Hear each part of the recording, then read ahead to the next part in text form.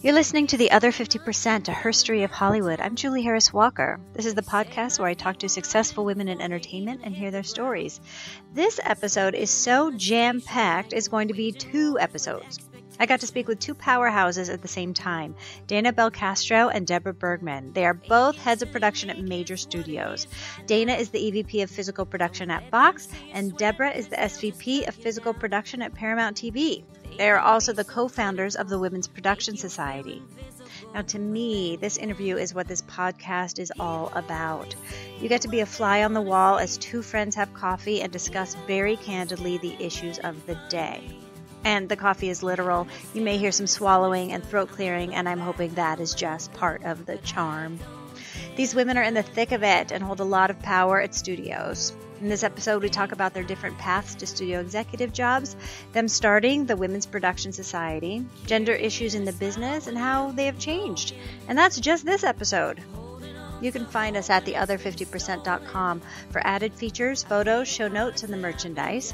Please go to the website and sign up if you haven't already. I promise I don't inundate you with emails, but I do send some to let you know what is coming up, and there are a lot of exciting things coming up in the next couple of months. You can also listen on Apple Podcasts, Stitcher, Podbay, and now on Spotify, iHeartRadio, and YouTube. Okay, here are Debra and Dana. We'll start with Debra. You'll be able to tell their voices apart, so I won't interrupt that. Here we go. Debra, let's start with you. New well, York- first of all, let's say today you are the SVP of production at Paramount Television. Correct. That's pretty good. It's pretty good. It's Okay, pretty how'd you get there? A New Yorker, born Mm-hmm. and raised. Started off, I'm going to date myself, in the 90s, early, very early 90s, in New York City when things were done very differently and there was barely any independent filmmaking, but it was there. And then I got into production accounting because I also felt like, let me get into things that a lot of people are fear of, like budgeting, cost reporting, and union negotiations, union deals. These are things that a lot of producers are scared of. And I knew back How in the did you days. know this in your 20s? my gut. It was my early 20s. And my gut, I just knew. I just knew because who wants to be financially responsible for a show or a project? No one. So it's you also true. Nobody wants to do that stuff. No one wants. That's So part of the it's, uh, job. Is fis- fiscal responsibility, and so then there's this kind of alliance between creativity and financial responsibility, which you're seeing more and more of, which has always been necessary, but a lot of times it's just they go they go apart and then they come back together. So I just felt like let me know what I'm talking about. Let me be a woman in the room that knows what I'm talking about and talk about the things that people are scared of looking at and talking about. So for whatever reason, that was I gauged that. I don't know. I don't so you know. weren't afraid of it. You didn't think, oh, everyone's afraid of that. There must be a reason. No, I was thought, like- everyone's afraid of it. I'm going to do it. I was like, I had a, you know, I had the creative side of me, and then I had this analytical side of me that was easy peasy. So I kind of said, if, if I was going to become a, a, a filmmaker, and do the business aspect of film, which is what I knew I wanted to do out of college, mm-hmm. business aspect of film. Where'd you go? Hofstra University, like a good Long Island girl. I went on the four and a half year plan. I changed my major twice. Um, I graduated with a film, de- you know, film degree, communications, and a, a minor in business and French, which I never used. French. And psychology, actually. Psychology I had to throw because I had changed BB, a BBA to a BA eventually because I graduated the communications degree. And then um, landed my first gig in New York as a production accountant, assistant accountant on a $2 million indie. And uh, there was no accountant. I was it. And I was the sole, I was, this was before softwares. It was on an Apple computer. I created a cost report from, from Excel spreadsheet. And I would get $30,000 a week cash messengered to me every week from this financier, real estate tycoon. To, and I didn't, and the producer was too cheap to give me a safe. Oh my so every night I would go back to my apartment or go into Penn Station to go back to Long Island if I was going to go see my family, and I would have the money kind of like glued to my body. yeah. so Were these was- the days where you had to pay out the crew on Yeah. Friday in cash? Yes, Right, especially per the diem Teamsters. cash. Yes. Especially, well, always the Teamsters. Always Don't the mess around with their money. And then I, um, after that job ended, producers were striking New York because it was so expensive to shoot there, and I didn't want to go look for work in an industry, you know, in an area that just there was no work, and I was starting out. So I decided instead of going for my master's, let me jump on a plane and go get educated in Hollywood. Hmm. And so I did. Three suitcases on a plane, didn't know a soul. I came out to Los Angeles and landed my first job six weeks later on Reservoir Dogs with Quentin Tarantino directing. And I was hired as the assistant accountant and assistant production office coordinator. Both I, jobs. Both jobs. Wow. I did both jobs, but I worked. I worked from like 5:30 in the morning until 10 o'clock at night. I would start before call, half an hour, open the production office, and then I would stay after wrap another hour while I was doing the accounting work. I had two desks, one in the back with accounting, one in the front with production, and I had two titles, and I did the job. You were totally doing two jobs. I was Sick. totally doing two in jobs. two different offices. I was totally doing. And then at the end of the day, I'll never forget this. The um, producer called me in his office and said, "Okay, we don't have a lot of money, so I'm only going to be able to give you one credit. Which one do you want?" Figures. Well, and one paycheck. Yeah, and one paycheck. And but I was new. I was happy to be working in Hollywood. You know, I was thrilled, and um, I took the assistant production accountant job because I was really. It was numbers were really easy for me. Budgeting was really easy for me. Forecasting was really easy for me. It wasn't hard and I figured that would be a good way to get into working with crew. They like you, you're paying them. Working with vendors, they like you, you're paying them. You know, and then seeing uh, the whole process, beginning, middle, and end, through the eyes of a budget, and then translating it to the set and then to the screen. And so I felt like that was a really cool way to see it all. And so I did that, and then I started doing that for a couple of years. And I moved up pretty quick as a production accountant. I ended up landing a job at Amblin, at Spielberg's company, early days, Schindler's List, Jurassic Park, the original. Man. And I was an in house accountant for them. I did that for a year. It was great. And I think, you know, I was getting seasoned to be an accountant on shows. I was good, I was honest, I was thorough. And next steps would be to go on big studio movies. I remember I was sitting there with an adding machine figuring out how they came up with the fringe rates. Mm-hmm. And I was like, I'm done. and I retired my adding machine at a really early age. Because you were about to get stuck in that career. I was about. Big time. And then I uh, left and I said, well, if you want to produce, go produce. So I produced two short films with my own money. One was with my own money, the other one was with someone else's money. They called me after. They, we did the film festival, went to Houston, South by Southwest, and we got some recognition, and I now produced. So now I was a filmmaker producer. And then it was time to get into line producing, UPMing. And then that's when I was getting the jobs as an accountant where they were willing to pay me 2500 a week. Back then was a good mm-hmm. paycheck. Mm-hmm. And I was saying no to that to say yes to that line producing, production managing job, getting paid, you know, $1,000 a week or $1,500 a week in the indie world. So mm-hmm. I had to mm-hmm. leave the studio world to reinvent myself in the indie world as a line producer, production manager. But it was a long game. It was long. You knew yeah. you were I was in that direction. I was going in that direction, and I was saying no. And there was times I was like, you know, feast or famine. Unemployment was running out, but I was holding out because I just knew there was something drive inside of me that was saying you know, no to that. But I always had the accounting to fall back to, mm-hmm. back on, so I can always be sufficient and dependent on myself. And I just started, and then I got a couple of opportunities. I was the production manager and auditor on a Sandra Bullock directed $250,000 short film that Miramax uh, back in the day had given her. Um, and we did that with Matthew McConaughey, Sandra Bullock, up in Ventura County. It was great. And I got my feet, I got to use both jobs mm-hmm. as the auditor slash production manager. And then that segued to another little independent movie for $250,000 called Sparkler with Jamie Kennedy and Freddie Prinze Jr. and that was shot in Los Angeles and Vegas. That was where I was truly line producing. That was rough. I was being threatened by the Teamsters in Vegas, but I was a New York broad and I didn't really care. You could take them. I could take them. And then after that, I got an opportunity. I had a chance to get into the DGA. I got in the DGA in 94 Were you in New York when that was happening? I was in LA. I got in the Directors oh, Guild in LA because of a circumstance. I was doing the job as a UPM. I was producing it. It was a female director, Lisa Satriano, was a oh. first AD, trying to break into directing because it was a DGA show. Because of that, I ended up getting into the Directors Guild back then. As a UPM. As a UPM. Coming from the independent low budget world, non union world, it all of a sudden prevented me from doing non union work as a UPM. And now, because of the DGA. And then you had to get the bigger jobs. Then I had to get the bigger jobs, but I wasn't really given the bigger jobs because I wasn't on the QL yet. So I was like in this really weird situation where I couldn't get UPM jobs because I wasn't on the QL in Los Angeles. QL is a qualifying list? Qualifying list. Yeah. And I, I couldn't work as a production manager because I was now DGA. Did you have to work out of town, or what'd you do? I did a little bit of both. I ended up line producing. So I line produced in town. But you could do third area as a I could do third area. And then I bec then this was like the birth of third area. This was the birth of low budget independent. Yeah, they're a little mid mid to late 90s Yeah. when they started with the tier system, the low budget side letters. Right. So the IA came out with the side letters, DGA came out with side, like all these side letters came out where you can do like I forget the numbers back then. It might have been 7.5 million and under where you have like these different tiers for crew rates and you get some concessions. Up until then, you could actually do a non-union movie of some size. Like I came up doing like twelve million dollar non-union movies, but at that time in the mid '90s, they started the, the the death of non-union kind of started because these low budget agreements mm. came through. So you couldn't do a non-DGA picture because it was like a million dollar DGA contract. You couldn't do a non-union, you know, non-IA picture because there was a million dollar IA contract. That kind of forced everybody to, well, it kind of homogenized everything in a way. Yep. So yeah. I was one of the, I'll never forget the first million dollar movie I wanted to do in LA.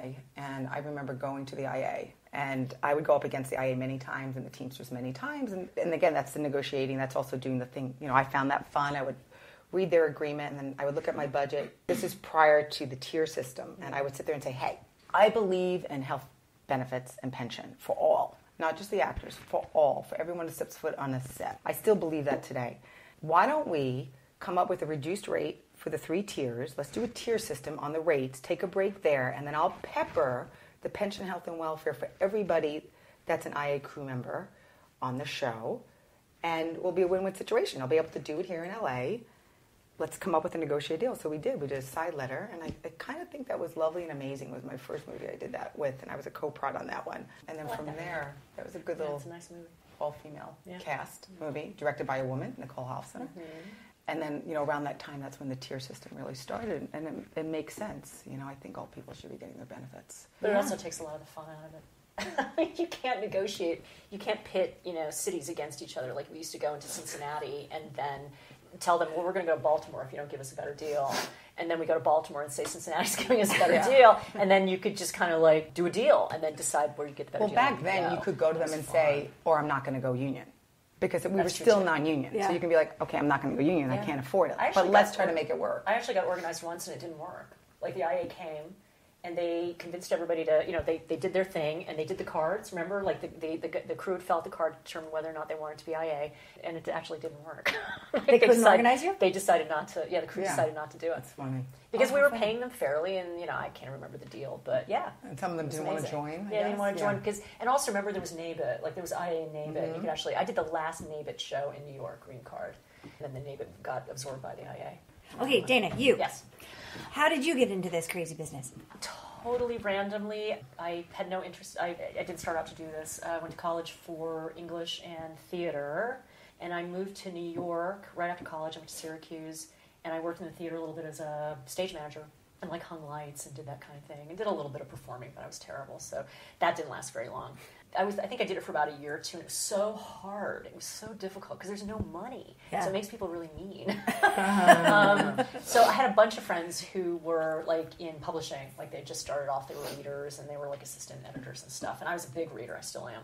And so I thought, all right, I'm going to go to publishing. So I got a job as an assistant to a literary agent. You know, people throughout my life have asked me about becoming an agent or a manager because I can talk, and I guess I'm kind of bossy. I don't know, but I've never really wanted to do that. So, Bossy in a good way. Yeah, I don't think so. But Supportive whatever. is the word you I are. think You are so. supportive. Anyway, so I did that for about a year, and then I thought I don't want to be an agent. I started to think about going to a, a publishing house in New York, and I started dating this guy who was an AD, who was first AD on a show called Tales from the Darkside in New York, which is one of those shows that like everybody worked on. And I remember it was at Silvercup, and I was working at the Flatiron Building in New York, so I'd go to work every day, and I had my little shoes and my little skirts, and my little Angora sweaters, and I went to set to visit him once, and I remember just like it was like they were in a basement, like this disgusting dark basement on stage, and the women in this basement where like, you know, their hair was a mess, their clothes were awful, and I remember distinctly thinking, I would never do this. This is disgusting. This Look is at their outfits. Ugh. And then literally like a year later, I'm right there because I this guy got a job because he spoke French. He went to school in France. He spoke French. He got a job on this like weird little TV show that was like a co-production, like a Luxembourg, UK, French, American co-production of the story of William Tell. And I was going to jump jobs anyway, so he was like, "Why don't you come over to France and you know be a PA?" And I was like, "Okay." So oh hmm. I didn't speak God. French. I, didn't, I didn't know the business. I barely knew him, but I was 24. I thought, well, all right, why not? so off I went. What happened to that guy? I lived with him for seven years. Wow. And I so I went there. I ended up being there for three years. I was like a creative producer's assistant. I ended up being the creative producer's assistant and a story, not like quite a story editor, but I did a lot of coverage and I did notes. Wait, hold on. You were in France for three years? Uh huh. On and off, yeah. it was pretty intense.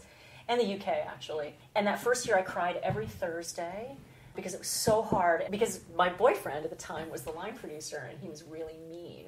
So mm. I was the dog's body in the office. I was the PA in the office, mm. and so all the girls in the office like were horrible to me. Mm. But why Thursdays did you I don't know. It just happened that way. You know, It, by the build up towards by the end of. Thursday. Yeah. yeah. and I would just like b- I would just bust out. And I remember like I would have to go down. We were we were working in the south of France because for William Tell you had to be in these like chateau towns with no phone lines and no you know like they had to the locations had to be workable. So we would be working out of these like freaking castles with no heat in the, the dead of winter. I had a So little space heater and like fingerless gloves, and I'd be typing and crying. And I would have to go, and food, of course, was a big deal. Mm. like it was, and by the way, it was French hours. And But the I would food was have good. to. It was fantastic, actually. And I would have to go wash all the dishes in the from the production office. So I would have to like clatter down this like little tiny staircase with these dishes, crying, and like washing the dishes in this like ice cold water. And like Cinderella it was unbelievable. At least this was my experience, and I just remember thinking, "This is horrible." Next year, I got a little bit of a promotion, and the first thing I did was paper plates. Like, forget this. I'm not doing this anymore. Anyway, so that was three years, and then I thought I was going to stay in Europe forever because that's kind of where it all worked. And what was interesting to me is I'd never done anything like that before, but for some reason, like living in hotels and traveling, you know, moving every month suited me. Like I didn't know it would until I did it, but mm. it was very easy for me mm-hmm. for some strange reason. So I did that.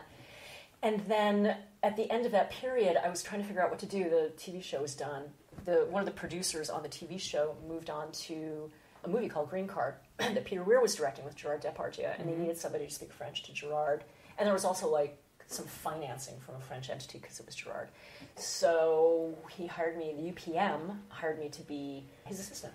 So I got lucky because I didn't have to do you know low budget crazy porn. I just segued Like, right hey, onto a like, hey. yeah, Porn. twelve million dollar, you know, kind. It was an independent, but it was like a really nice movie that uh, Buena It was Vista. a lovely movie. yes, remember? So, so opposite of me, in the independent world and the man, grunge right of New. York City. You know, I remember one of my first gigs, I forgot to mention when I was in New York, was a movie called Frankenhooker. Mm-hmm. And, and my, I was an assistant location, and I was doing lockup at 3 a.m. south of Greenwich uh-huh, Street. If you have an idea, south of Houston. Uh-huh. Yeah. And like Oh, yeah. that was Oh, my God. job. Oh, Lockup God. at like South 2 or 3 in the morning. And I just Wednesdays. remember after that, I was like, no, I'm not doing that again. Yeah. Like, or I was doing uh, commercials, like gripping, because I did some gripping. I would just There go work Sure. for, you know, I worked for Subway fare or food for free. To go because you know totally opposite of her I where they have to do actually paid you. Mine was just like sure you need Well, by the way, try it. First job, three hundred fifty bucks a week. That was it. That's all I got. Fifty bucks more than me, baby. Well, it's true, and it was cash. Oh no, mine was the cash. Mine I was had to getting go through diem. payroll. I was getting per diem. At the end of the at the end of the year, I'd had like eight thousand dollars in cash, like you know, sitting in an envelope. So relatively speaking, I was getting reasonably well paid, and and it was a nice job. The French show, even though it was a very it was a terrible show. In any case, on to Green Card, and then I you know because that was a nice show, I made those connections, and then kind of I was an assistant on Home Alone two. And I was an assistant a- couple more times, and then I can't remember what the first supervisor job was. I was working for the same UPM that had done Green Card. Uh, we were going to do a movie called I think it was Roommates that Peter Yates was directing, and I was his assistant, and he was interviewing supervisors. And I remember these people would come in and he would interview them, and he right in front of me. By the way, we were sharing an office, and whenever they left, I'd be like, "Hire me, hire me. I want to do that. I want to do that." He'd be like, "You can't do that." I'd be like, "But I want to do it." and, and it was just I was I knew him. We'd done two pictures together, so finally he hired me. Mm. And what was interesting is that I didn't know anything about it, and I had a great accountant, great accountant. So when payroll came around, Who's the accountant? Noel Bermudez. Oh, I love He was Noel. nicest, so so great, and I He's didn't know the best. Oh, I love Noel. Yes, Oh we God, all. right? He's like Oh, shout out A-list. to Noel. So I, so the first time payroll came around, I went to my boss and I was like, "Ah, payroll," and he was like, "You're not going to be able to do that. You can't do that." And I was like, "Okay." So then I went to Noel, and Noel showed me how to do payroll, like how to, you know, figure out the meal mm-hmm. penalties and the OT and how to It is you know, possible. it. And it really, and what was interesting to me was, and I'm not a numbers person, by the mm-hmm. way. It was so easy. I was like, "Oh, this is Yeah, it stupid. is like, this is not." And I, yes, so I had, I had a Like, what's all the mystery? Yeah, there's no I that's the point. He just said like, "Oh, this is really complicated," and and it did not help me in the least. But my friend Noel did, and I remember also not having any qualms about jumping onto the like the electric truck and yanging at the best boy about why his hours didn't match the production report. Yeah. Dude. no problem, you know. And inevitably they would just back off because you'd be like, "Here it is. This is what it says. Why is this a problem?" Oh yeah, okay. Well, it's just. Uh, yeah, you're, you're right. You're right. Well, I was trying to steal money from you, but you caught got me. Yeah. So, So- uh, guess I'll take it back. So that seems straightforward as well. So it all like once you actually kind of broke it down, it just didn't seem that hard. That was always interesting. Like, and this was the same guy who told me I wasn't a filmmaker, like you know, two years before. And then once you're actually in it, it's really not that hard. Oh, it's it's just you more know? about this. I don't know if it's a version of unconscious bias, but it's It's very straightforward, or at least it was in those days too. And by the way, this is the mid '90s, where a hard shot was an exterior rain shot, like maybe Right. with a car. You Yeah. know, oh my god, rain towers, Yeah. BB lights. And I honestly I look at those movies now and I cry for how easy they were. Yeah. It wasn't and Avatar. how hard we thought they were. Yeah. So then I just kind of, you know, I did that. I did a couple of supervisor jobs uh, with some really great line producers who were actually uniformly very supportive and really nice to me and all men. And then um, I decided somewhere in the what 98, 99, I wanted to line produce, I wanted to make a jump to line producing. And had a couple of crazy meetings with some people who, men, who said, oh, it's never going to happen, you can't do it. Like, seriously, you go into these rooms and they go, mm-hmm. oh, you're never going to do that Do they say why, or they just dismiss they you? they just they're just very dismissive. Like you can't like they just say you can't do it. That will never happen. You're just like And I guess "Oh." half the people went, well, okay. Hey, I guess I I'll know. go do something else. You know, it's really interesting because on the flip side, not to interject, but because I came from production accounting, back in the day, how they came up with the word line producer was to be responsible for the line of the budget, right? Mm-hmm. So I'm coming from building budgets, projecting budgets, and incorporating how the money translates to what you're executing on screen. So I never really got that. I got the opposite. I was like, well, actually, I am the most qualified to be a line producer. like, I will spend your money and account for every dollar and dime and translate that to the director and the creative producer. I should have said that. And- should have said that. I know, And I again, it was coming from the place of strength, which is coming from the place where when I learned how to do payroll, I learned because I read the contracts and I had to understand them and I had to translate those union contracts into how you, you know, when you get a time card and how you interpret that with meal penalties and turnaround and force and all that stuff. So it was like, oh, this is that and that. And like, it makes sense. And then coming from the set and seeing, I would go on set a lot. I was also an accountant Oh, that went on set a lot. on set, that's I was an on-set accountant that would go two or three times a week, meet with, go into the wardrobe trailer and sit down and talk to the supervisor. Yeah. Go sit with the Best Boy Electric and see the inventory And of the show prop me the master. chandelier that Show costs me $5,000. Exactly. Oh Where's the L and D and the why? Or have a conversation with the second AD as why you're calculating what you're calculating for turnaround and meal penalties. Like explain it. So not only did I take the paperwork that was provided in the union agreements, and then I three-dimensionalized it, dimensionalized it by going to set and seeing it. So I was never like that bookkeeper personality. I was like, I knew I was going forward. I knew I was taking this experience to the next job. And This is the secret. It's doing the work and understanding mm-hmm. what everything means that you're Yes. doing. And what I hear over and over again is that that kind of learning and then mentorship and like deep foundation isn't happening as much anymore. No, so you're getting No. people in higher levels that don't have that deep. They come through the desk. It's true. They come from the desk, and God bless many of them. But I know for myself and being around a while in this business, when you have people like us that actually came from physical production mm-hmm. on set many set. years, I mean, I spent 10 years as a line producer. I went from the early 90s, I got in the DGA in 94, 5, or 6, I can't remember. And I went over to Sony Pictures in 2005. So those 10 years, I was a DGA line producer hyphen at UPM and did the job. And my niche was 12 million and under anywhere in the country. Mm-hmm. Give me 12 million and under, give me a script, give me a director, and throw me anywhere in the country, and I will make it happen, whether we shot there or not. And that was the fun problem solving piece of it. you know, we would either bond it or not bond it. We either have a completion bond or not. And sometimes, I'll never forget one of my last movies, I convinced the financier to not bond it. I needed that money, that 2%, to go on screen. Mm. And I convinced him that by having me and my AD and account that I required, we will deliver. That's You no different. bond. We Yeah. are the Well, we are the bond. We are the bond. And he called me out on it a few times when I started to get like pushback from the director on the show. A little bit like he wants what he wants kind of thing. And he empowered me. God bless him. Tom Warner empowered me to go, why? She said she can deliver this. I I back Well, what was- she But said. it was different in those days. I mean, I never felt like I was held back. I mean, aside from a couple of weird things, and I'll, I'll tell one more story.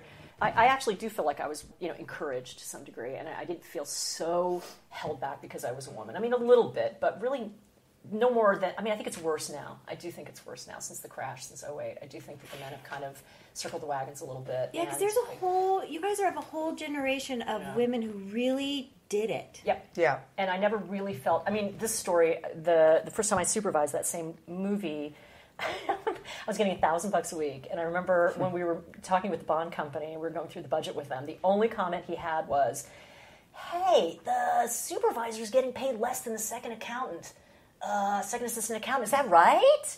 And I remember sitting there with the, my my you know line producer, and I was looking at him. He was like, "Oh yeah, that's right." And about halfway through the show, when it was clear that I was doing a, really terrific job, I went to him and I was like, I need more money. Like, this is crazy. Yeah. Like, you've got to give me more money. Good for you.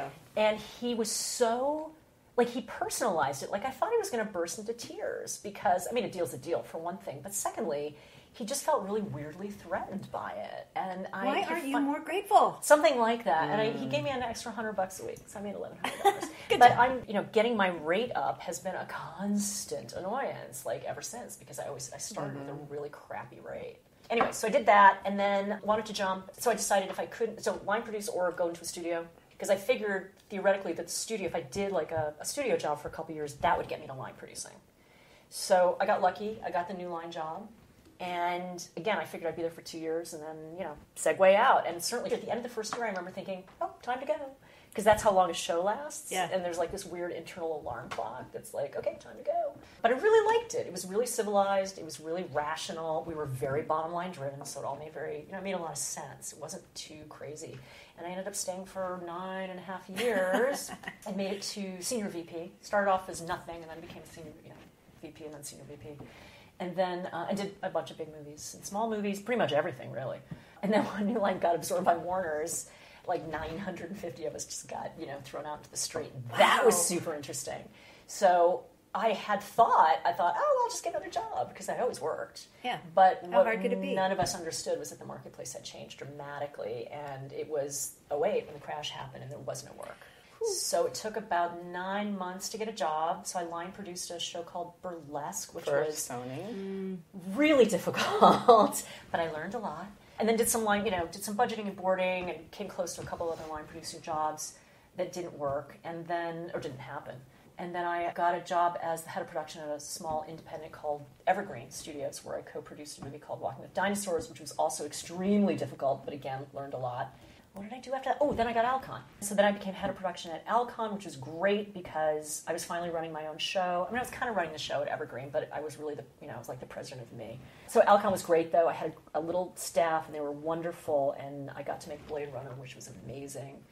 And then um, I got the call from Fox. So now I'm So we didn't there say now you're as- EVP of production at Now I'm an EVP of production at Fox. Yay. And working on Yay. many movies. Features. And now uh, features, and about to get absorbed by Disney. so I have a little new There's line that. PTSD. The- the You're twitching a little. But you right. it. The future is uncertain. We will see what happens, but it's uh, it's you know can't complain. And so after I did the 10 years at producing, which was very opposite, it's funny because we're kind of opposite experience. Like Mm-hmm. for me, I just kind of did it. I believe if you're going to do it, just do it. And I was in the indie world because I left the studio world as an accountant. In the indie world, you you could, if you're honest, I believe, and have a skill set, you could continually hi- get hired. And I was continually hired. There was one year where I was boarding and budgeting everything and nothing got going. In fact, I, there's some companies out there that owe me tens of thousands of dollars because with indies, you know, you will get on the hook, you'll do the work, they'll ask for budget revisions and plans over and over again, and then the money's coming, the money's coming, the money, money's coming, and And then it doesn't come. six weeks later, four weeks, you know, eight weeks later, like there's no money, and you're calling your agent, you're like, wait a minute, Hello. like, hello, I'm not going to do more. But I've had three. Uh, there were Broder, Broder, back in the day, Right. like Jay Gilbert and Hillary um, Group, I think. Yeah. Gersh Yeah. back then, Uh-huh. and then I had um, ICM when I did my Sony deal, Okay. and then now what was with APA. So I've had a few, and I think it's just about Yeah, so people, the people, more about the people. So I did that, and then I got married in 05. Two days after I got married, I left my husband and went to Chicago to produce my last feature. Oh, uh, let me let me just interject. Uh, my husband and I got engaged in '98. No, sorry, '96. We moved into a house that summer, and two weeks later, I left for six months to go on a show in New Mexico. Yes, same thing. production works. yep. Yep. And I just remember I was gone for six months in Chicago, and I remember saying to my new husband then, "Here's the deal." It's, I was lining it. It was small. It was ambitious. Will Arnett. It was directed by Bob Odenkirk, and uh, Will Arnett, Dax Shepard. It was great. Chi McBride. It was a great cast in Chicago. What was the movie? Let's Go to Prison. Marc Abraham was a creative producer. He was phenomenal, and he had a lot of things going on, so he wasn't there a lot. So a lot of it was on me, which was great. So I was kind of straddling both, which I did well. I loved working and nurturing creative, which was the director, and I was, you know, the budget part. The, that was so easy. It was maybe five percent of my job knowing Yeah. where the money was because I was so. Well, so I could really right. focus on giving him what he needs. So two days later, after I got married, I went on a plane. I remember saying to my husband, "Okay, here's the deal. I will not be able to come out to see you for six months because I'm going to be sequestered. If you want to see me, come out every two weeks." And uh, he was working nights then, so and weekends, so he can only come out during the week for 36 hours.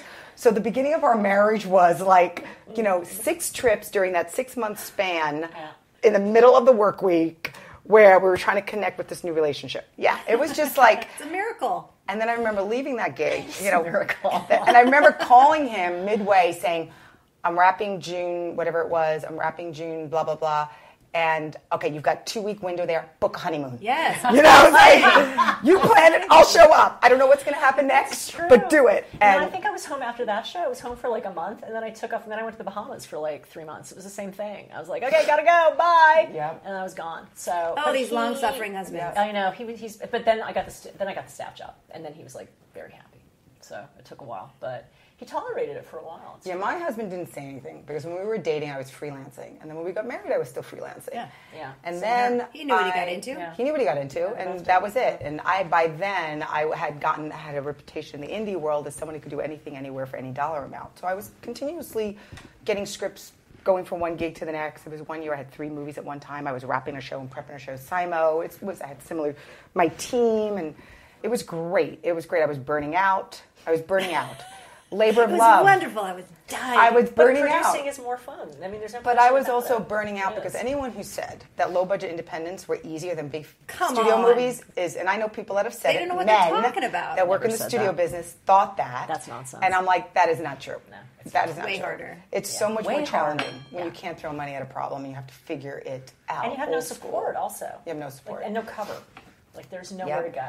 So, my last movie was with uh, Carsey-Werner. They were getting into the film industry, film business at the time. Their head of BA reached out to me after we wrapped that show and said, "Hey, would you consider coming in house? It'd be great for you. You're newly married." She was one. She was phenomenal. She was great, and it was like, "Huh, interesting." And and what had happened was none of their pilots got picked up, and so they weren't going to be adding. They were actually getting rid of people, and it was during the time when they let go of a bunch of people in their TV department, TV division. But the seed, I think, was planted in my head to go in house. I never in a million years thought I would go in house. I am a production person on the I ground, make it happen. production person too. But Yeah, um, and then Sony so was looking for a VP of production, physical production, and features. I took a meeting a couple of times and got hired, and I was there for eight years. And that was where I experienced Yeah, well, a lot. Being the token woman, right? That's Like- where I like am experienced right glass now. ceiling, boys club. That was I had never experienced it as a line producer before. Did they ever do that thing where they went to a sporting event and not tell you? Because they do that at like Warner's all the time. I And didn't know actually, they it. apparently they had done it at Fox. I got like, invited Liz a few times to events. Like they I- would go, they would go to a baseball game and not tell the women. So like Kim Cooper and, and Liz Sayre would just be sitting around going, "Hey, Where is everybody? Yeah, they're just be gone. Don't even get invited. No, apparently not. I mean, it hasn't happened in a while, but somebody's telling. I mean, Kim could corroborate, I suppose. But yeah, Well, I will say also though, back in the early days when I was producing, there was such a uh, the, the balance of male to female behind the camera. I mean, there were many times when we were doing a shoot and I was one of the only Oh, absolutely. women behind the camera, or on a tech scout, which was like the tech scout would always be the joke. It would be me as the line producer. And maybe the set decorator Yep. was a woman, Yeah. and that would be it. And so, but you never really, for me, when I was in line producing, I never really noticed that I was a man or woman. Never really noticed then. And you the had some difference. power in those situations. And you had situations, too. power, That's true. but you never really noticed. It was really getting the right person for the job, and predominantly a lot of these heads of department jobs back in the '90s, very early 2000 were men. Construction coordinators, special effects coordinator, gaffer, like all these people that would be part of the tech scout, like heads of department and mm-hmm. keys, predominantly men. It wasn't until I went in house and I was the only female executive across multiple departments where I really started to feel the difference in my gender. And What'd that look like? that was They exchanged no. let's put it this way. Let's put it this way. Six months into that job, Dana and I really started connecting and talking, and mm-hmm. this is this was the birth of the Women's Production mm-hmm. Society. Because I remember reaching out to her and us having a lunch together, and me saying, "There's no way I'm going to navigate these waters, these these waters with all these men. I need female support." I'm like getting emotional. when was that? Like it was because That I was already, that was Like oh like, no no I started 1705 so Oh, okay. it was it was I started in August of 05 so it was probably around December like the first quarter I was there we had lunch or we had talk we started talking about it because Yeah. they were doing these How did women we even meet though? I can't remember because I I don't know. those- I've been an executive those- for five years or so, so Through I'd already been in the chair for a through while. the um, film finances used to host those women nights That's right. That's right. those women nights Okay. they used to host I'm getting emotional for some reason just reliving so Only because it's a big deal. It is a big deal. it, it was a really big deal It's and a so shock. It's so a real what shock to the system. you know? So what that looked like, the long and the short of it, was every bit of self worth that I had as a person was just shoved down. Every time I wanted to contribute or be of value to the process was negated. And so what that does to you as a person, it just, especially for someone with my personality, which is wanting to be part of the team and such a collaborator, coming from independent filmmaking, being the collaborator. And with so much success under your belt, right. you had proven it. It must have been so jarring. and, and being an effective person, like being prevented from being effective and was being very prevented from doing was job. very it was very It's really diminishing. it was diminishing, was sup- suppressive. Mm-hmm. There's a lot of like what's going on in the movement today with this this harassment piece of it. There's this whole other arm about just suppression of women in the workplace. And did you recognize it as that at the time, or did you first think, "What's wrong with me"? That I Yeah. first thought, what was wrong with me? That's true. At first, I was like, whoa, whoa, because I really did. Well, I'm missing a skill. I'm missing because I really did, you know, being the oldest daughter, being the oldest child, being raised from an Italian dad. I really did believe that women and men were 50 50. Mm-hmm. I just did. I just thought we were really 50 50. And then when I got in this environment where I saw this disparity between, wait, we're not really looked at as 50 50, I'm actually, it's more like 20 80, like I'm being shoved down or whatever it was, I started having a lot of physical reaction. My husband at the time, God bless him, because he got the ripple effect of what was going on for me Monday through Friday, 50 hours a week, 60 hours a week, and then cultivating relationships with Dana and other women that did the job. Back then, it was just the minors, like really having that support of people around you that you could vent to when things went down, but not really having the voice to say in the room what was really going on. Yeah. Well, I had the opposite experience because there were other women in my department, and the two supervisors we had at New Line were very supportive, and so there were, I, I didn't have to live through that, but I could be a mirror to Debra to tell her to let her know that that's that wasn't normal. What she was experiencing wasn't normal because I I it was wasn't having- her. It wasn't her. That it was the system because I was having the exact opposite experience. Like I never had at New Line that experience. It was very supportive. We were doing our job. We were, you know, our, our two supervisors gave us a lot of cover, a lot of protection. We were respected. You know, I was probably underpaid a little bit, but whatever. like not not wildly underpaid. So I you know I could be kind of a, a normalizing kind of echo chamber for her because that wasn't right. It was mm-hmm. ridiculous. You can say it's not you and it's not normal. no, it wasn't normal. Oh, and then and then like during that time, I decided to have a child. So now I'm like that at helps. that. Which Now but- you're the pregnant lady. And But that's now I'm the pregnant She's so lady, worried and actually, it. not only that, it took us a little while to. So I had to go through certain things, like be jacked up in certain hormones in order to get pregnant. Great. So now I'm sitting in staff meetings and in rooms, the only woman jacked up on hormones, Just trying weeping. to keep a lid on and trying to be in my body. So when I hear these two people go at it, these two men go at it, and they're having a pissing contest about something, when all you want to do as a woman is get to the solution, Yeah. like Yeah. cut through the fat and just let's move on just get the work done. Just get it done. I really had to like go inward and like find my inner strength as a woman mm-hmm. and the power of aligning myself as a woman, which was, and I look back, very, very powerful because when you have outside issues, you know, affecting your body that you have no control. We all know this. I mean, men have hormones just as much as women. Men have mm-hmm. hormone swings just as much as women. But I, I literally was jacking them in my body to help me Hormones get are pregnant. powerful, man. They're powerful. I really refrained a lot, and I learned a lot about myself as far as being a very strong woman. Like str- I learned that. I took the positive out of that, and then when I left that job, I was the first to go in a restructuring. Ladies first, I like to say. Ladies first, and I immediately two days later I was on an interview for another job. I didn't let grass grow under my feet. Yeah.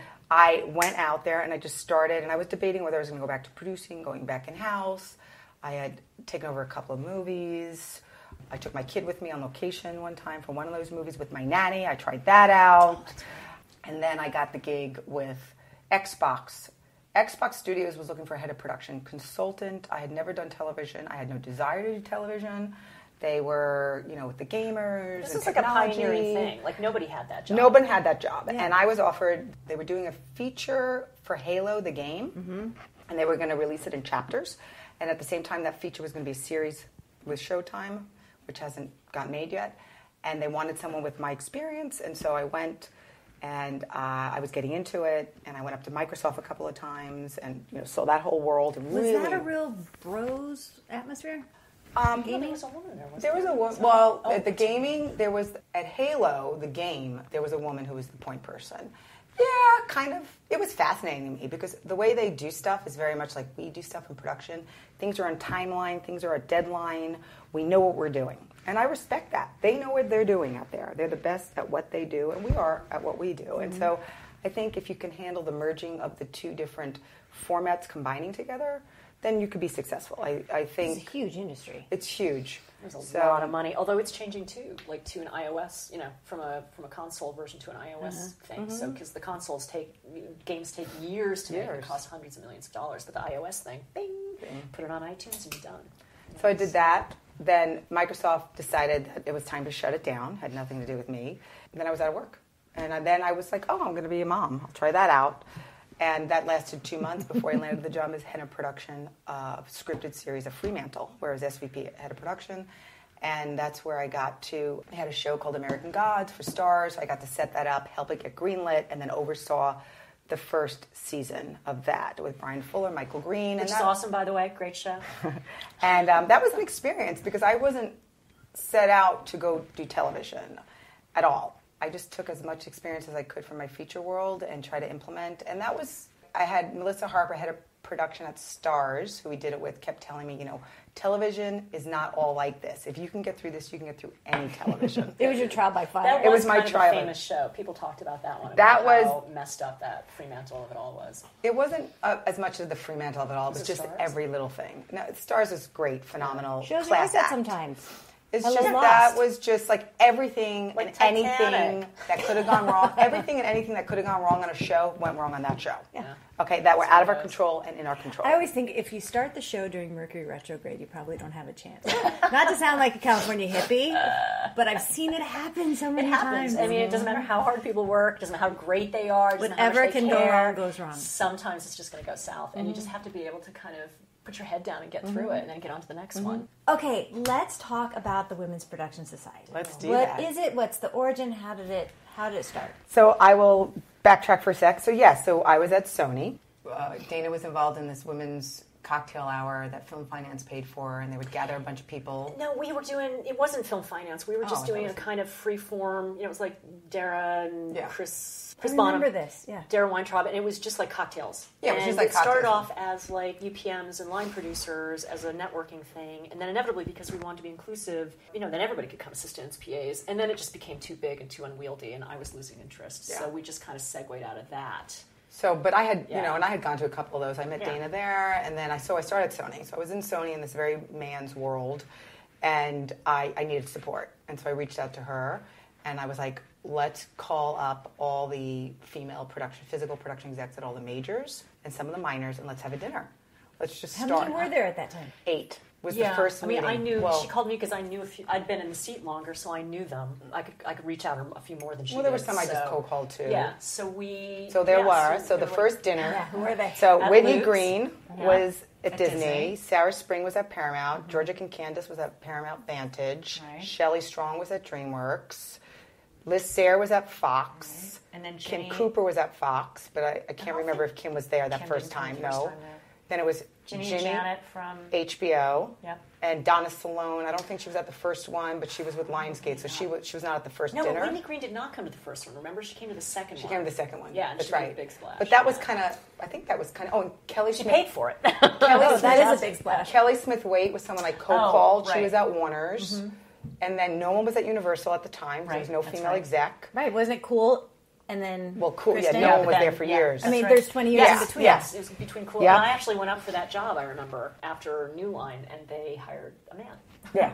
so that was kind of it. So it was basically all the majors and We Lionsgate could and fit HBO. into a booth at yeah, we were at a booth at Luke's, and that was it. And then Focus Features. Jane Evans Yeah, was at Focus was- at the time, but she didn't Yeah, but she make the didn't- first dinner Mm-hmm. because No, she this was, based out of New these York. were just the ones we knew. Like it was Yeah. just a few people just- that yeah. we knew. And what was really great. but we was kept it at the majors. It was mostly Yes. the majors and a couple of the minors. There Well, was the HBO girls. That was the it. HBO and Lionsgate. Yeah. yeah.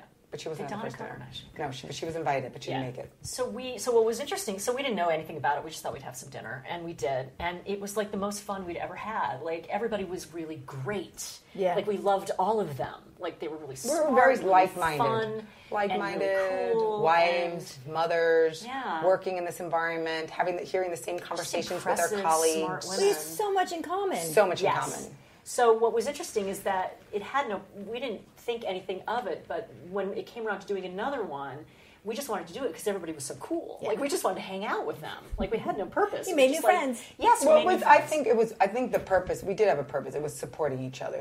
No, the purpose I was I felt better for weeks after hanging with these gals. Yes, Yeah. because they because so it great. empowered me to get through the weeks Yeah. with this Mm-hmm. this imbalance of male to female ratio in the workplace, behind the scenes and in the in the corporate environment. So I, to me, it was a huge takeaway, and I took lifeline. It, it was a lifeline. It was a, it was exactly Well, that. born of necessity, really. Born and that, that's what's interesting is that you have this issue, and the first thing you do is reach out to other women, Mm-hmm. and then it kind of gets fixed a little bit, like Which is kind, kinda of against stereotype. It is Yeah. very much so. Like You're supposed to be backstabbing bitches. well, and we're we're But we're not. with each other theoretically too. Like we're But that, that's you know, so that's it's, it's very so competitive you know business, that's so it's just not the case. and I and you know being the heart of this, Uh-huh. it's like having had a sister who passed many years prior. Mm. The importance of sisterhood to me is so important. Yes. Just having the, the solidarity Mm-hmm. among your peers that a man cannot 100% relate to. For me, is the whole point of life. Just having that, and so The sisterhood is huge. it's ma- it's Well, really huge. And And- I've never experienced that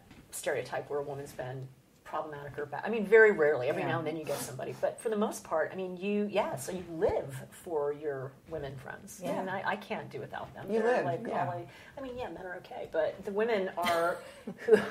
sorry, guys, but you know, I mean, that's that's how you get through your life. I, I don't know. I couldn't do it without. So we were so basically what it was is it was always upon us to set the dinners. So we were doing dinners. It was you know one time it was three times a year or two times a year. It would be on and off, but we would run these dinners and we and then it Every now started. and then somebody else would do it, and Like, someone would yeah, take over. like HBO Sarah. one year took over, and then they paid mm-hmm. for it. Fox one year took over and paid for it, and and then gradually the group got a little bit bigger, and we started inviting like 15 of us. 15 Which, by us. the way, let me just say this. On the entire planet, on the entire planet, there are only 15 women doing what we did at our level. Like, that is ridiculous. That was like that's I mean it's impressive one, but two, it's embarrassing because Just there are get a million men. perspective. How I mean, many seriously. jobs are at that level doing that job? And I remember at that oh, dinner that I'll Like never forget. 50, I mean, Yeah. there's a lot. a I'll lot. never forget that dinner, the one you're talking about. I think Fox hosted it, and we, we, we Oh, made yeah. this comment about how many of us are the breadwinner. Oh and, my god, And yeah. every hand went up but one. Mine. So, but but that's okay. But we all went. We were the we were the breadwinner Yes. for the family. We were, you know, the husband was home with the kids or being a right or whatever, and then we were the one providing the health, welfare, the Mm-hmm. true. and the income to pay for the mortgage. And it was just like that was an eye opener. Nobody really knew that. That is fascinating, also. And were most of the husbands stay-at-home dads or artists? Some were, some, Some were, of and some worked, were. but just didn't get paid like we did because they were in real Yeah. industries, and we get paid silly money in our business. You know, do management basically. I mean, Wait, what does your husband do? He was uh, a Best Boy Electric, and then he and his gaffer uh, on a movie called Barfly invented the Kino Flow. Well, that was So, smart. Yes, the, the, the dream of every guy on set. so they have a factory now in Burbank, and they make Kino Flows all day. Oh, that worked out. So. yeah. And at the time, my husband was doing management down at the docks before he retired from that mismanaged industry. By the Yeah, way, God number one dock in the country, very mismanaged. He Down at burnt Long out. Beach? Yep. So what was really interesting about my husband, and I'm just going to segue this just to give you an idea of Yeah. me and him, um, and his support is when we had my son. He was burning out heavy in management down in Long Beach. He worked at a company called ITS. He managed about 100 longshoremen and crane operators there at the port. He was burning out. They were working 12 hour days, five days a week, but it was so mismanaged, not by him, but the people above. And we had my son and when it came down to we were looking at the numbers of full-time care versus his salary and we met with a financial planner and an accountant. They were like you know what? If you can do it he should stay home. And he was at his ends with the job and he stayed home and for two years my husband who's 6'2 He's a man's man. who's a man's a man man's you've met him yep. who now owns his own company a general contractor Which he created from which he created from scratch, stay home for two years, and took care of that three month old when I went back to work. And so we had a shift in the dynamic of the provider. And it was, he stepped up, God bless him. We did get him a little help so they can set the stage of what's to be expected when you're running a house. Yeah. And you know, he stepped it up and it was rough and he knew he couldn't do it. He had to go he had to go back to work. And for me, I didn't realize the stress that that came about being the sole provider for three mouths and a mortgage and all that. So there and the changing dynamic of your marriage. of the marriage. It was rough. It was a rough year. The first year was like a having a newborn Ugh. is a change, Yep. and then b having the shift in responsibilities and taking that old stereotype. The man comes through the door, uh, and the woman provides the meal and the slippers. This was the opposite, and but he didn't do that because w- when I would come home at 7 p.m. at night, he had this look of like, "Get me the heck out of here." He was home Because we know that job is actually harder. harder. Oh my gosh. But then, did you still have a big percentage of the home responsibilities, or did he had to take all down. that on? He Yeah, was he like, "What's for dinner?" honey?" Yeah. No, he. I will say he got to a place where the house was organized, the kid was washed, fed, and dinner was on the table. Wow. God Man, bless him. God a shout bless out to my husband. Shout out Okay, to it wasn't Brian. all the time, Monday through Friday, but there were times when that was. But he he he he eventually got to seek to do that, which. You know, God bless him. God That's bless him. amazing. But I was still doing all the household stuff. I was still doing all the scheduling, and if things came up, like Oh, the emotional labor.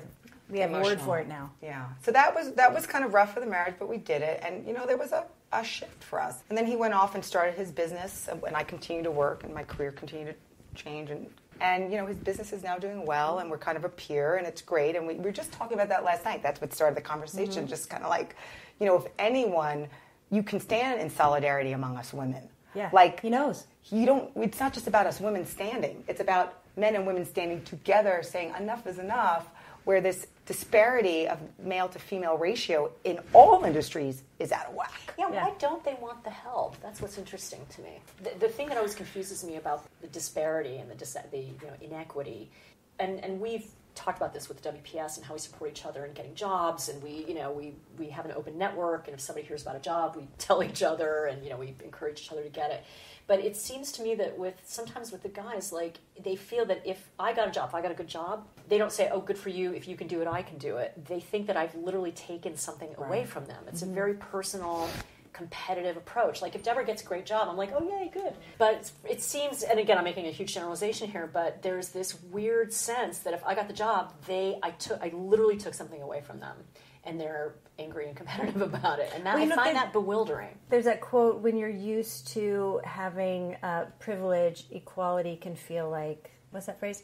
Equality feels like a disadvantage. Yes, Yes, because they're, yes. now they're all angry. Yeah. Somehow, Feels like like, if taking want away. equality, now that's threatening them. Yeah. When in fact, all we want is the same break, as opposed to, but they are interpreting this, and again, huge generalization. They're interpreting this as now they're being uh, Oppressed. uh, oppressed, which is of course not the case. But Right. They yes, that's their perception of it. So, so then going back to WPS, Women's Production Yes. Society, just to Yes. segue back. So we had been doing these dinners for a few years now. We were getting bigger and bigger. I think then HBO hosted, we were at 21 one year. And it was just mm-hmm. like, just more about, we were doing our own solidarity among each other. And then it became a great resource. We could share information. The, there was a brain trust there. There was a cone of silence there, a dome of silence there. Mm-hmm. You know, you could pick up the phone and call any one of us, whether you had a big relationship, you know, like a relationship like Dana and I have, or you just met them at one of the dinners. You there was a sense of honesty and solidarity and And confidence. sharing of information, I think, is pretty unique.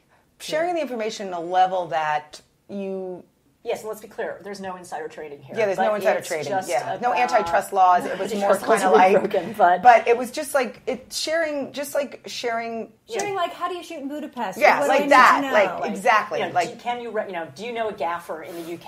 Yeah, stuff like It's stuff like you're not holding on Yes. to it. What do you think of this? my Like, if you had to choose between these two production service companies in uh, Budapest, what would you do and Right. why? And then to have that yeah. conversation and to really get good visibility on certain things, which would like you know make us more efficient at our jobs. Oh, saves Yes. you so much time if you don't have time. to research it. Yeah, and then Which we would have to do in any case, but it, it, this just made it easier. So what had happened was after my Xbox experience, I now started meeting a few people in television. So now I was meeting this whole other class because prior to 2014, mm-hmm. prior to 2014, it was primarily features because that's what we focused mm-hmm. on. And mostly majors, except for a few indies. Yeah. So it was- it was so it was kind of small. It was like this 20 to 25 number. And then I started in television. I met some incredible female Melissa Harper at Starz, Liz Miller at CBS, Sarah Fisher at ABC. Mm-hmm. And I was like, "Oh my god, these women are amazing." I spoke with Janet Carol Norton at ICM, who's head of um, she deals with TV line producers. She, I had a new relationship cultivating with her because I was now in television, and she was. I told her about our group and kind of that we were here to support each other and she was like oh my god you need to meet this person this person this person i would literally would call them and say janet thought i should meet you let's have lunch and we did and then we included the television execs in our in our group which then rapidly in the last three years between television and digital we're at 85 strong Wow. and so, and it really is a senior level physical production exec position from VP level up. So we, a year ago, we started to do a few things. Actually, a year and a half ago, we started to take on this whole production supervisor position because there's 120 production supervisors that are working out there in our industry, of which 70% of them are women. And they've been trying to get recognition within a union or guild Yeah, because aren't they in between? They have no- they don't They're- get they're benefits. one of the few non-union positions besides PA. They're pretty much like the only non-union position on- on a show anymore because you know most of the line producers came from the DGA as the line producer position was created over the last say 30 years. They've retained the UPM title, credit, residuals, etc. So they fill the hiring requirement from the the bargaining agreement and they started to bring up coordinators, assistants, location managers, whatever, to become supervisors to do the UPM job. So they come they've from- Been, they've been in this limbo, and I was a supervisor, so I know this very well. They're in this limbo where they're not covered under any agreement. They have no residuals, and they have no benefits. and then they, go, they don't get paid very well. They don't get paid. and they don't get paid. They don't get paid very well, and right. they're in management positions, and they're hiring people, and they're negotiating deals, and they're Yeah. dealing with union issues. And So what's the problem? well, the, The problem problem, is the DGA. the directors guild. They don't want it. Yeah. So so anyway, so They there's an opportunity for membership within the guild if they absorb this class of people where they can widen female female, membership. membership. in management positions. So there's an opportunity for the directors guild to do that. and if also they did expand here. their UPM roster because currently, at least from our perspective, and we're talking with we're, we're t- speaking as people with like you know That hire. thirty years of experience in studio hiring positions. The DGA UPM roster right now is a little slim, so And it's gonna- years and it's gonna we fade have- out. We have hired supervisors. And so we, you know, this is an issue that's come from the supervisors for years. They've been trying to push in the DGA, and the DGA has pushed them out, pushed them back. So now, as studio representatives, we're taking another approach and saying to the the DGA, we want to make these hires this, like Because- coming from the studio. This is how we want to do it. Because- because for years the DGA said, oh, the studios don't want it. And It's also, and also, how do you train up UPMs? The DGA's old position is its second ADs or the, the pathway for UPMs, Or which second ADs or pathway for UPMs. Well, firsts. And first. Yeah. But when we hire UPMs, they're coming from, you know, I came from accounting. Mm-hmm. You know, I mean, there's, they come from from coordinating. Yeah. They come from the office. So there's different location managing now. So there's different places of management where they would come from. And the set usually is not the place where a manager would come from right. because that's kind of not the skill set. You're not when you're on set running a set. You're not negotiating deals. You're not hiring people. You're not. There's a lot you're not doing. And, and by the way, specifically, ADs are their goal is to serve the director, not the budget. I mean, it's a managerial position; they have to be aware of it, but they don't think that way. And it's not a desk director, not at all. So, you know, the level of complication that most movies have now, you know, we just feel that the AD route is not the best training ground for And it's really that never been. position. I mean, not you get, been in the you know, look, 30 we have the experience with the schedule, fine, but you know, scheduling, whatever. It's not that hard. I'm sorry. Anyway, the position we're taking is that the the job description has changed. It's you know, AD the AD route is not the best training ground for this position. It's a management position. It represents the studio's interests. We are the studio. This is how we want this to be structured.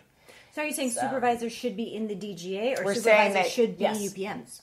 They should be UP both. We're, saying, they, should, absorb them. depending, depending on their level of experience, depending how many days. I mean, They have to get days. They have to do. In order to get in the DGA, you have to have X amount of days as Yes. a But UPM. We think so there should be a pathway, Pathway. to the U, DGA UPM position as a supervisor, As a the same as there is for a second AD or first AD. Now, is are supervisors right now mostly women?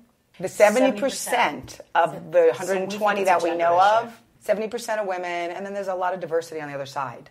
So that's just an interesting telltale. That is interesting. It's a really Not interesting that we can telltale. draw a lot of And, conclusions, and by the way, but most interesting. line producers are men. So there, I you know, Interesting. most line producers are men. Certainly, the ones who are doing movies over 100 million are men. You know, there are a couple of exceptions, and they're One. hiring. Well, Two. two.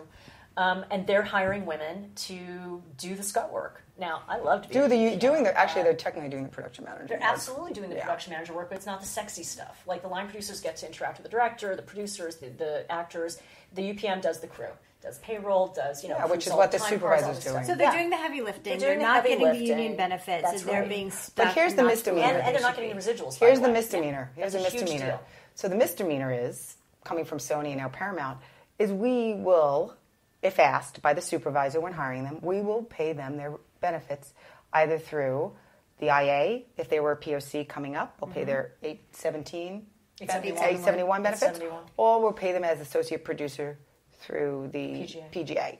So we will do that. Fox will not. Certain studios won't, but we will. The indies will do it. Certain studios will do it, but we will try. We're not not going to pay somebody their health benefits. Right. There's, you know, when But everybody on the doesn't set's getting a it. PGA deal, then Well, Fox will allow it through the PGA, but they won't allow them to be paid through 871 because their perspective is that it's not it's fraud. They're not coordinators; they're Yeah. supervisors. The coordinator gets their Yeah. you know, benefits through 871. but So anyway, so this has been kind of like a. Okay, so we found a gap that needs to There's be a gap. fixed. There's a gap, and apparently this gap has been on the table for 20 years. Oh, God, So this is something that's been up and talked about for 20 years and between DGA the DJ very and the effectively studios. pushed it back. So All right, so let's get on with it. That's right. We're going. So we, as the as studio people, are going are now going to uh, try to address it. You've been listening to part one of Debra Bergman and Dana Belcastro on The Other 50%, a herstory of Hollywood. I'm Julie Harris Walker. I will be putting out part two of this interview on Thursday, so you get a twofer this week. I'd like to thank them both for sharing their stories, and special thanks to Kate McDougald for editing, Jay Rowe, Danny Rosner, and Allison McQuaid for the music. Please find us on Apple Podcasts, Stitcher, Spotify, Podbay, and subscribe and leave a review wherever it is that you listen.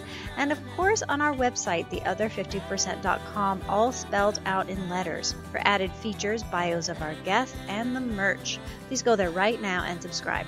I'll wait. Just kidding, I'm not waiting. You can also follow us on Facebook and on Twitter at Other50% and Instagram at Other50% Podcast. Thanks for listening. See you next time.